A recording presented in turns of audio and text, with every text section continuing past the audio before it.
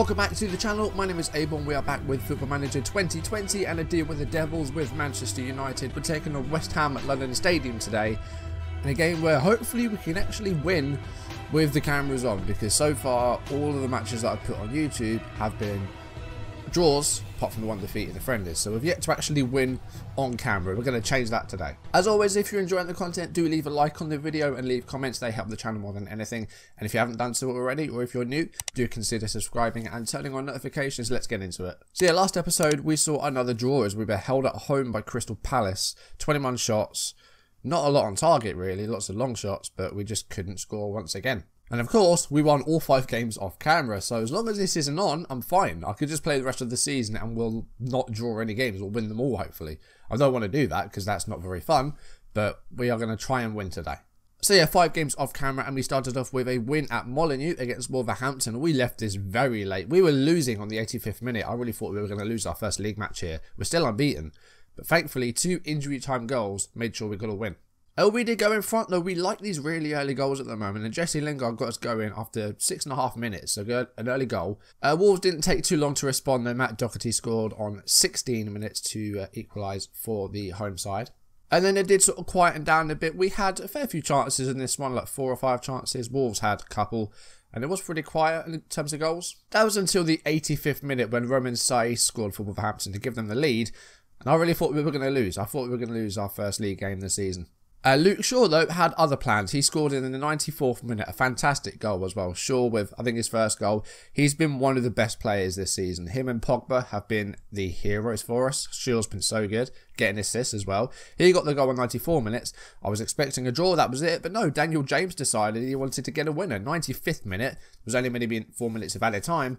And it was 3-2 to us. So a little bit of Fergie time still hanging around at Man United, it seems. A big win against Wolverhampton. Deserved? I don't know. It was a pretty close game, so it could have gone either way.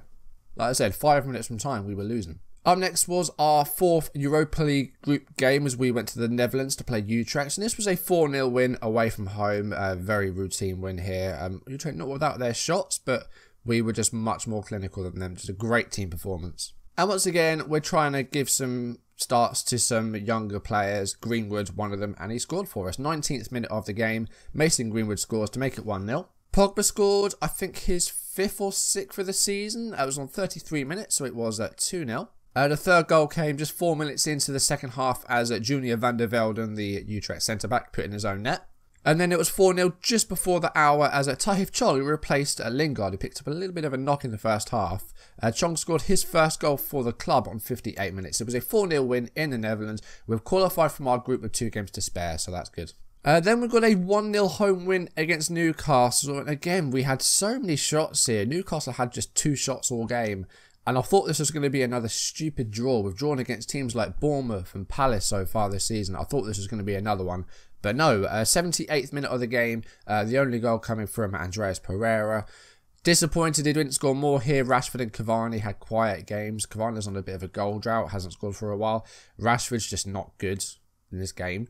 And Martial hasn't scored yet. So those two players, Rashford and Martial, are really letting the side down. And Martial, either January or in the summer, if he doesn't buck up his ideas, he's getting sold because he's not playing well. So we just edged it against Newcastle. Against Watford, though, we were much, much better. And there were five goals in this game. And they all came in the first half. In the second half, we just decided to stop playing.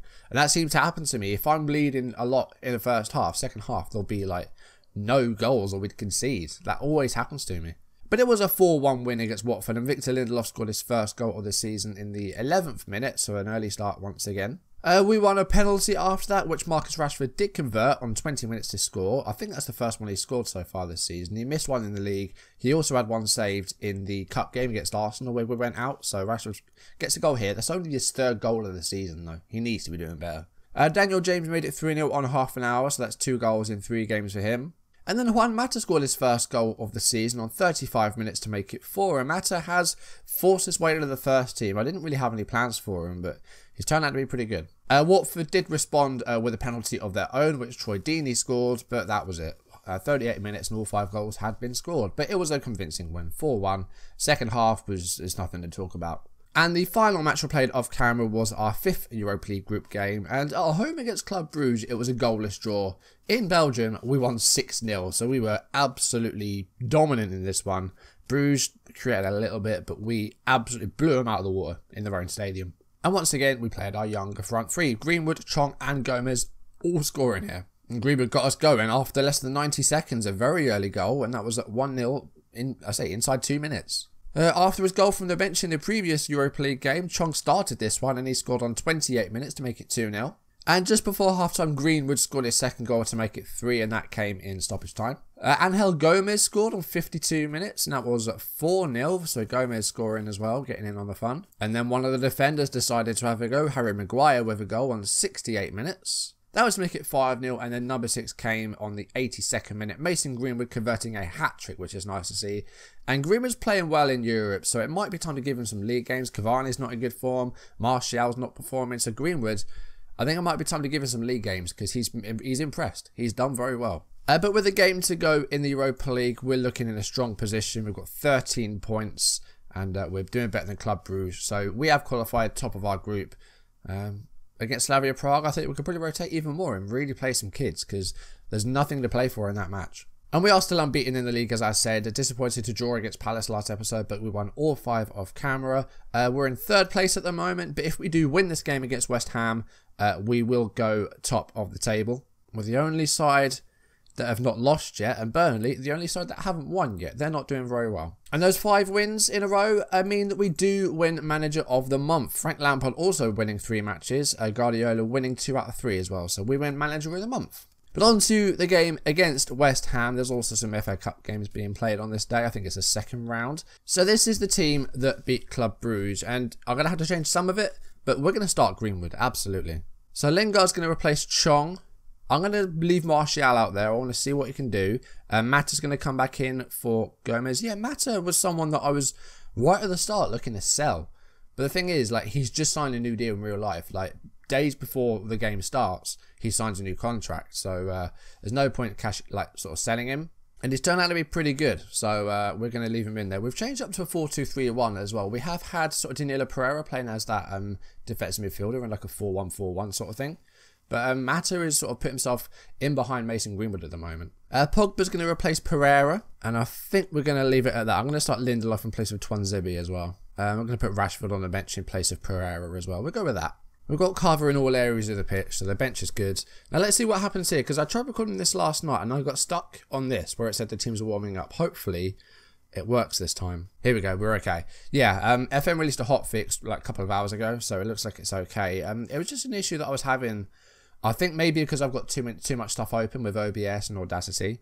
So uh, yeah, it seems to have been fixed. And also, it's been not doing good for my GPU because it's been very hot when FM has been running. So I don't know what they've done to it, but yeah, I think it's it seems to need a bit more from your computer FM20 um, like um, compared to the older game, which is confusing because there isn't really that much difference. Maybe I'm wrong. I don't know. But let's see how we can do here. Uh, I really want to win this one. Except when we're on camera, we need to win it.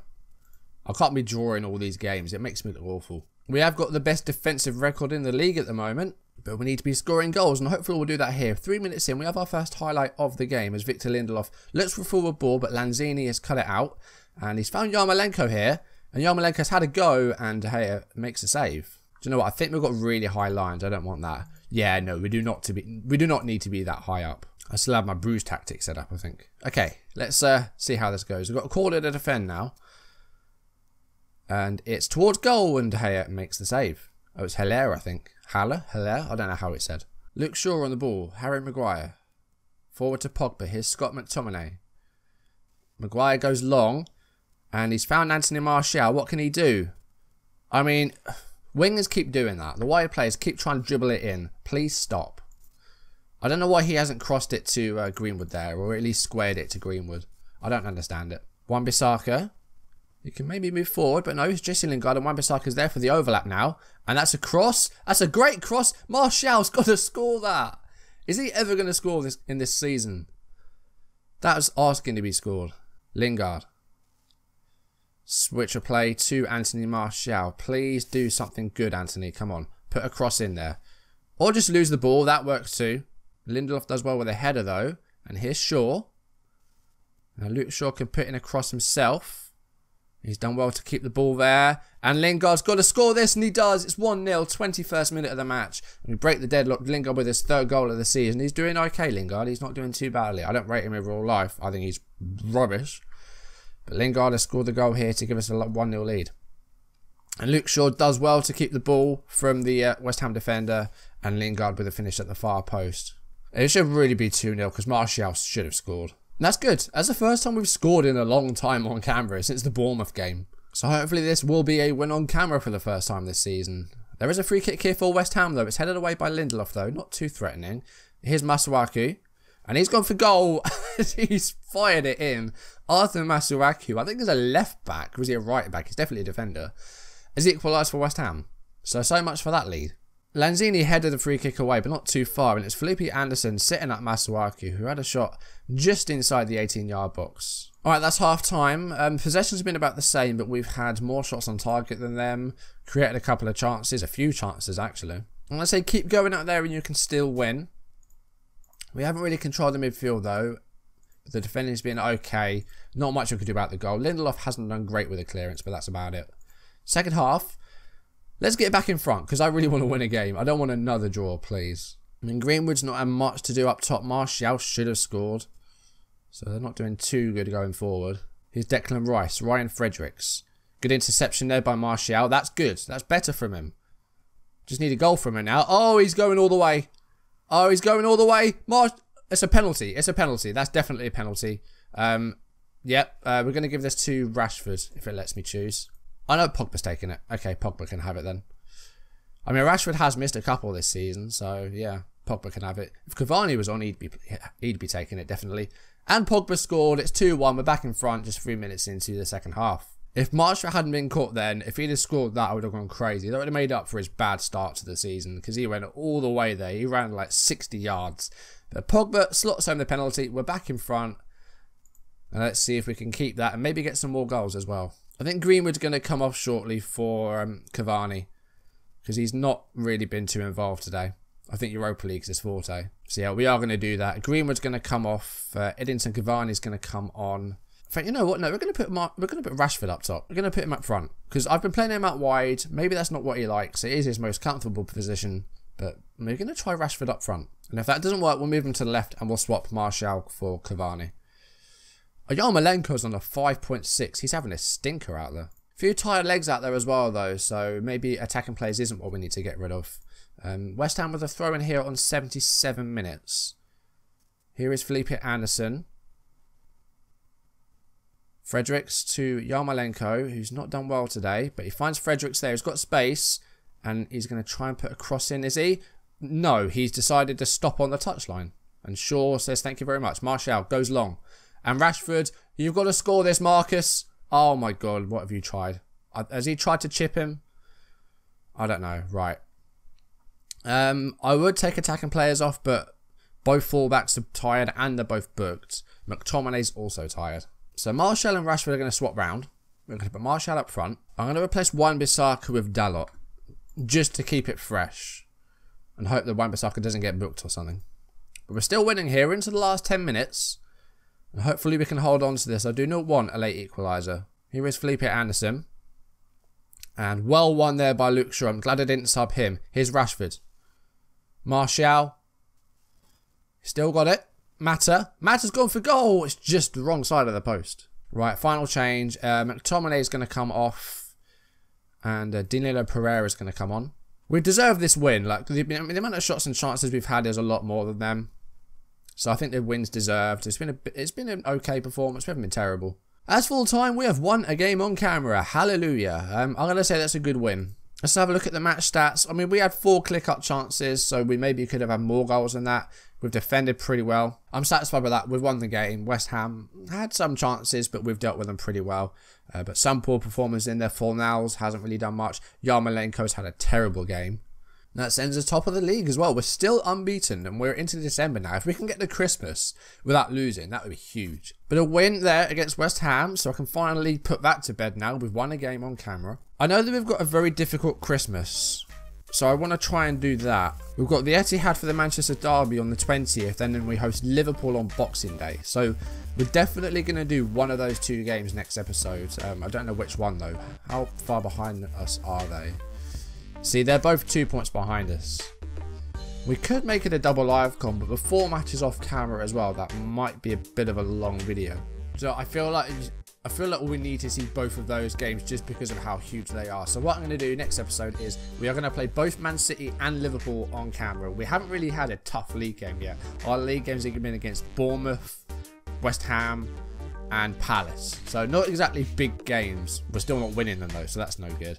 Uh, but yeah, we're going to play both Man City and Liverpool next episode. Two massive games around Christmas time. We're still unbeaten. Hopefully we can stay that way until we get to those games. And if we can go into the new year still without loss, that would be huge.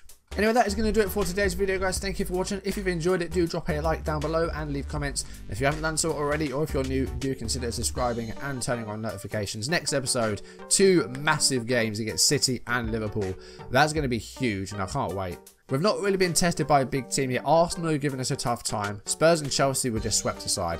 So that's going to be interesting to see how we do against Man City and Liverpool and what their teams look like as well. I haven't really had a big look at how other teams have done with their transfers. So that'll be interesting to see as well. Who are they bought and who are they sold? That's going to do it for today's video, guys. Thank you very much for watching, and I'll see you in the next one. Goodbye.